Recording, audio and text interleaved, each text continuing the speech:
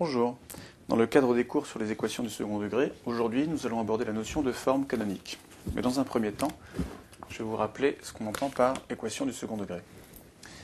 Donc on appelle l'équation du second degré à une inconnue x une équation de la forme générique ax plus bx plus c égale 0 avec a élément de R étoile, B élément de R et C élément de R.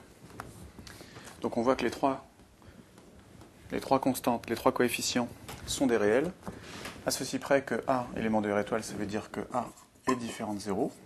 Alors pourquoi prend-on A différent de 0 eh bien tout simplement parce que dans le cas où A est égal à 0, ça revient à ne considérer que cette expression-là, qui n'est autre qu'une équation du premier degré, et ce qui nous fait sortir complètement du cadre des équations du second degré.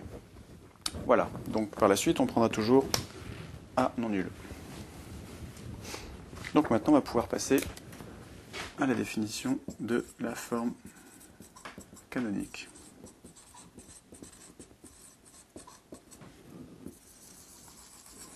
Donc on considère cette première définition générique d'équation du second degré, et on va dire que la forme canonique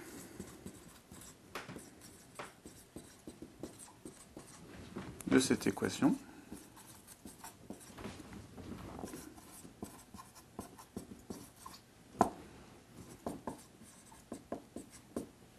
s'écrit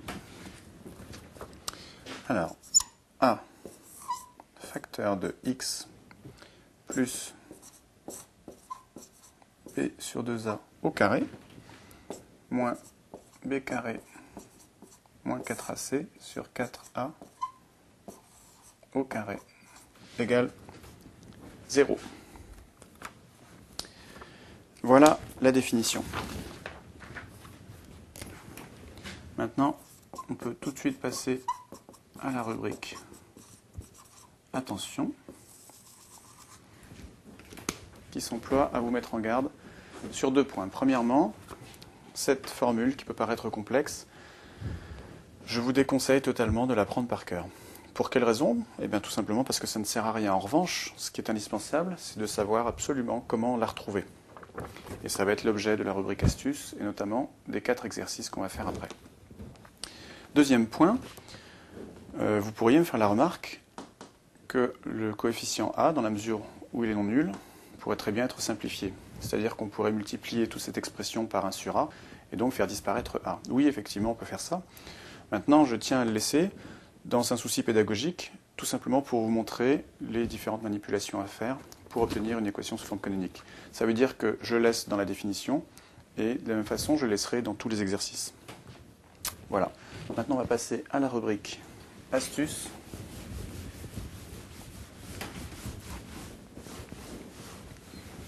qui consiste à vous présenter la méthode permettant de mettre une équation de second degré sous forme canonique. Donc on part comme d'habitude de la forme générique d'une équation du second degré.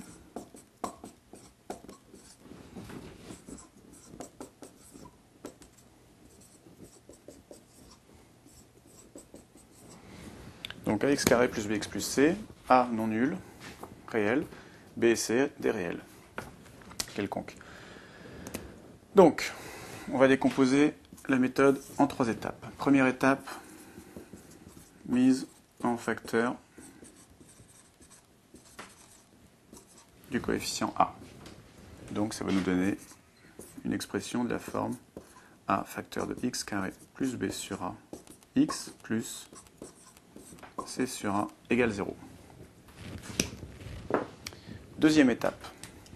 La deuxième étape, elle s'appuie sur le développement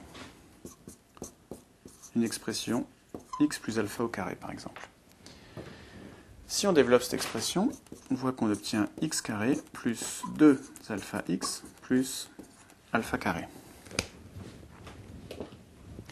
Donc ici, le début de l'expression, on a le terme en x carré, le coefficient devant x, le facteur de x en fait, qui est deux fois alpha. Donc on essaie de reconnaître ici, on a le terme au carré, un coefficient, et le terme en x. Donc le coefficient, c'est 2 fois alpha. Donc ça veut dire que l'alpha équivalent, c'est b sur 2a. Je veux dire par là qu'on va écrire ça faisant apparaître un carré avec le 2 alpha ici, donc alpha qui sera b sur 2a au carré. Ensuite, troisième étape,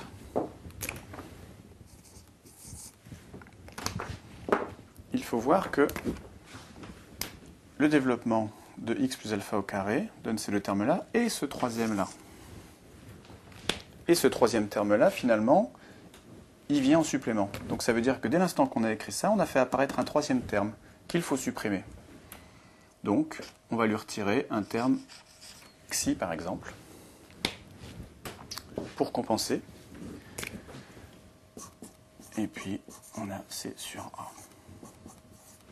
Voilà. Alors, à quoi est égal ce terme xi Eh bien, ce terme xi, c'est égal à alpha carré, c'est-à-dire à ça au carré. Donc on a xi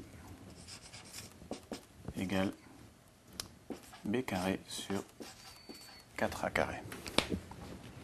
Voilà les trois étapes. Première étape, mise en facteur. Deuxième étape, on fait apparaître le carré. Troisième étape, on retire la constante qu'on a rajoutée. Bon, maintenant on va mettre en pratique ces astuces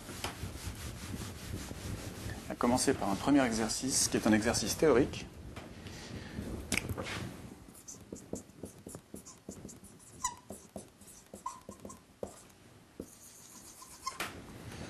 Donc, exercice 1, mettre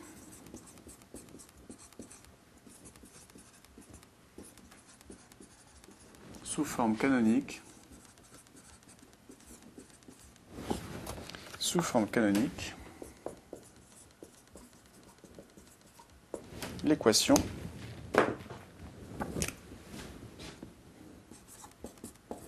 ax carré plus bx plus c égale 0. Avec comme d'habitude a élément de R étoile, B élément de R et C élément de R. Donc on va appliquer les astuces qu'on a vues. Premièrement, on met A en facteur. Donc on va obtenir A facteur de x carré plus b sur a x plus c sur a. Voilà. Ensuite, on voit apparaître le début d'une expression carrée que l'on fait apparaître ici. On divise par deux ce coefficient-là, puisque quand il apparaît dans, puisque quand on développe cette expression carrée, on va avoir pour le, terme en x deux fois le coefficient devant x, c'est-à-dire 1, et ce coefficient-là. Et là, on a rajouté un terme, qui est ça au carré. Donc on va le retirer.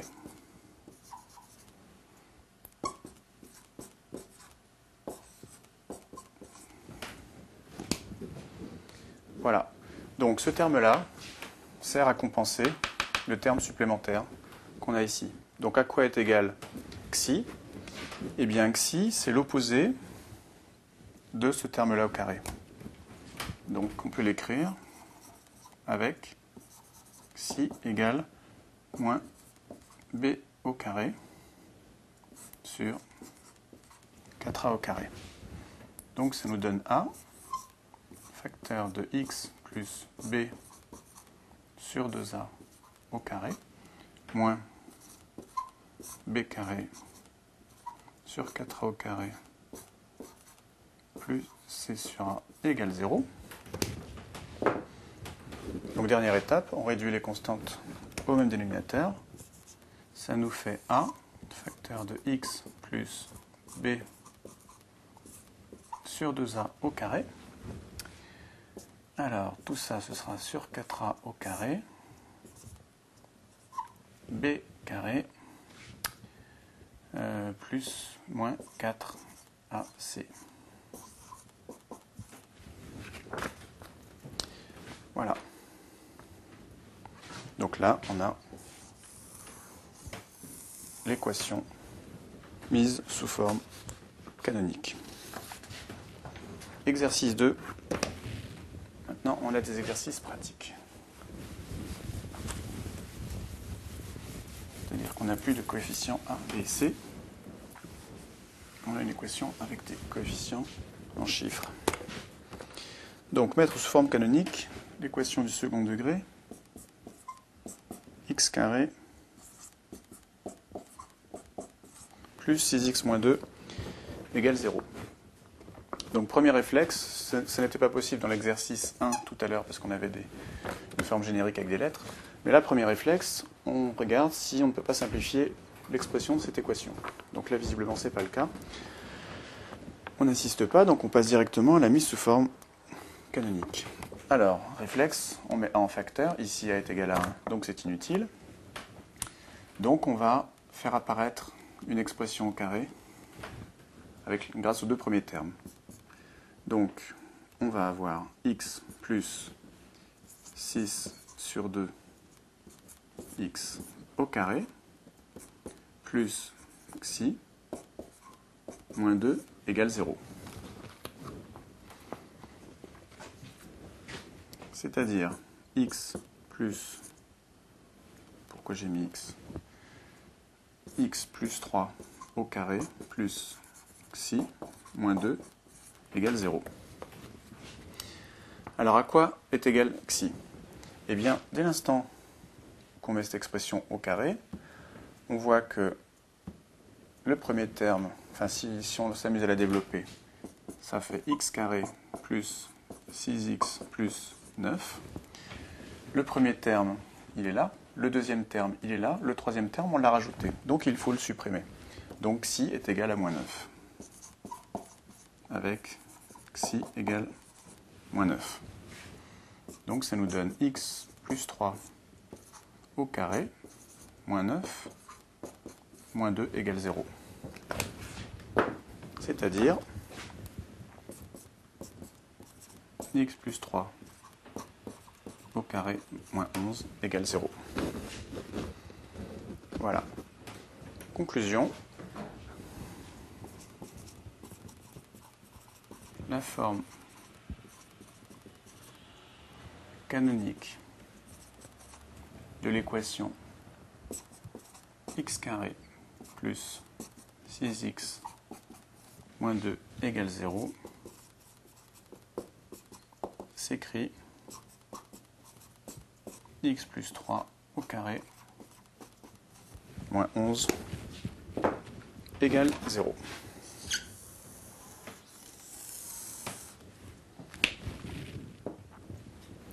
Voilà pour l'exercice 2. Maintenant, on passe à l'exercice 3, qui consiste encore une fois à mettre sous forme canonique l'équation 3x carré moins 12x plus 6 égale à 0. Donc premier réflexe, avant d'attaquer le moindre calcul, on regarde l'expression et on s'interroge, savoir si on peut la simplifier ou pas. Ici, effectivement, on voit qu'on peut mettre 3 en facteur. Donc on peut simplifier l'équation. On multiplie tout par 1 tiers et on obtient x carré moins 4x plus 2 égale 0.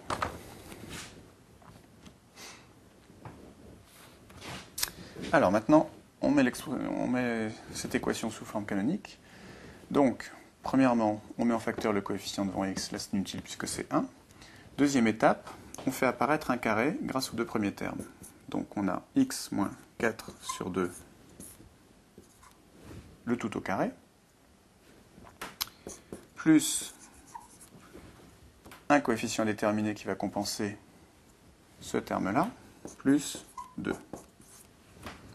Donc on va simplifier, ça fait x moins 2 au carré plus xi plus 2 égale 0. Donc je vais vous répéter l'explication de xi. Pourquoi a-t-on ce terme xi là? Eh bien, grâce aux deux premiers termes de l'équation, on a fait apparaître un carré c'est-à-dire x moins 2 au carré. Si on développe x moins 2 au carré, on obtient x carré moins 4x plus 4. Donc x carré moins 4x, ce sont les deux termes qu'on retrouve ici. En revanche, le plus 4 est un terme qu'on a rajouté dès l'instant qu'on a écrit cette expression. Donc le x moins 2 au carré. Par conséquent, le plus 4, il va falloir le compenser. Donc, on va dire que xi égale moins 4. Et là, on équilibre. Ça veut dire x moins 2 au carré moins 4 plus 2 égale 0. Donc x moins 2 au carré moins 2 égale 0. Conclusion.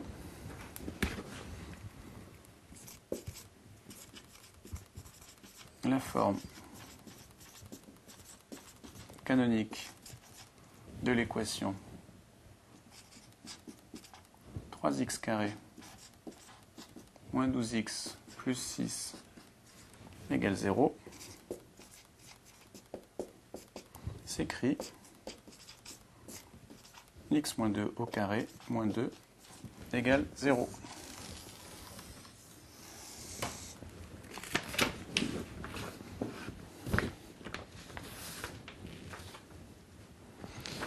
Dernier exercice, ça c'est l'exercice 3. Dernier exercice, encore une fois, mettre sous forme canonique l'équation 3x carré moins 7x plus 1 égale à 0. Donc dans un premier temps, avant d'attaquer les calculs, on cherche à simplifier l'expression de l'équation. Là, on voit que ce n'est pas possible. Donc on va appliquer les trois étapes. Première étape, on met en facteur le coefficient devant x.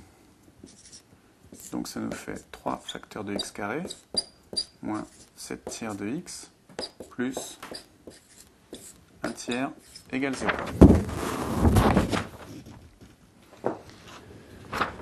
Voilà pour la première étape. Maintenant, on passe à la seconde étape, c'est-à-dire que grâce aux deux premiers termes de la parenthèse, on va faire apparaître un carré. Donc,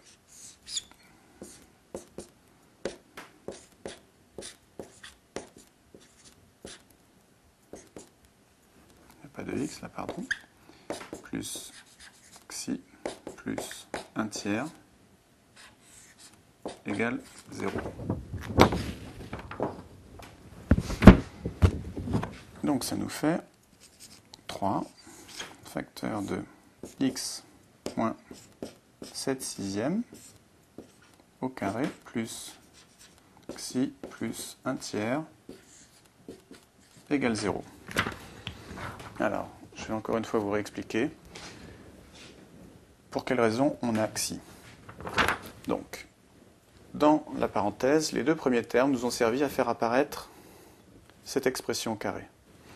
Si on développe l'expression carrée x moins 7 sixièmes, ça nous fait x carré moins 7 tiers de x plus 49 36e. Donc, on voit que les deux premiers termes du développement se retrouvent ici. En revanche, mettre enfin faire apparaître cette expression carrée a rajouté un troisième terme qui est 49 36e. Donc on le compense avec xi. Donc on va imposer que xi égale moins 49 sur 36. Et on continue. x moins 7 sixièmes au carré moins 49 sur 36 plus 1 tiers égale 0. Maintenant, dernière étape, on réduit les deux constantes au même dénominateur. Ça veut dire 3x moins 7 sixièmes au carré, moins 49, alors plus 12 sur 36. Mais il y a un moins ici, égale 0.